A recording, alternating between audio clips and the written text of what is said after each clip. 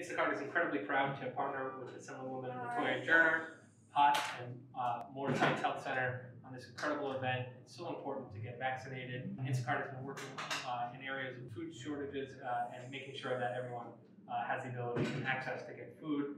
And we really wanted to highlight that issue uh, at this vaccine.